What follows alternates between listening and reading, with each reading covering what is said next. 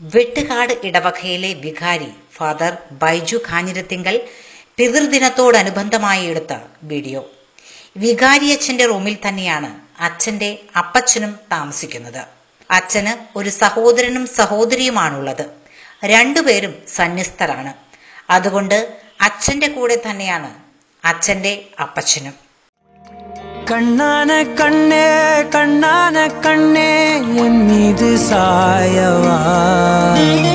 புண்ணான நெஞ்சை பொன்னான கையால் பூ போல நீவவா?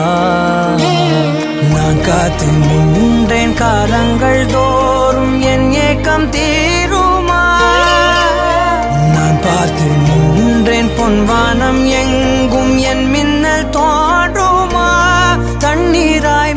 மேகம் தூரும் கண்ணீர் சேரும் கற்கண்டாய் மாறுமா? ஆராரிராரோ